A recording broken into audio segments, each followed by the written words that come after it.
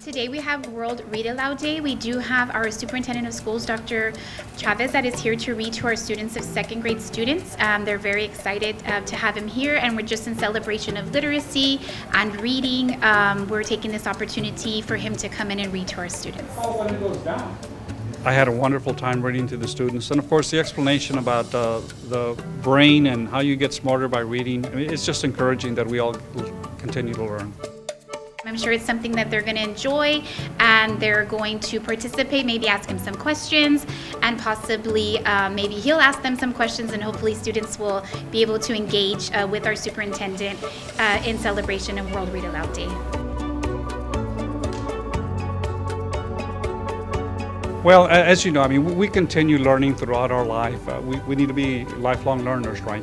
But in addition to that, uh, the reading that they uh, learn how to do is going to be extremely helpful to them in college. Ultimately, what I want for all of our students is to graduate from high school, but continue their education at the university level. And so reading is a key for that. The best part of the book was the sunset when when there was the ocean and the sun was setting down.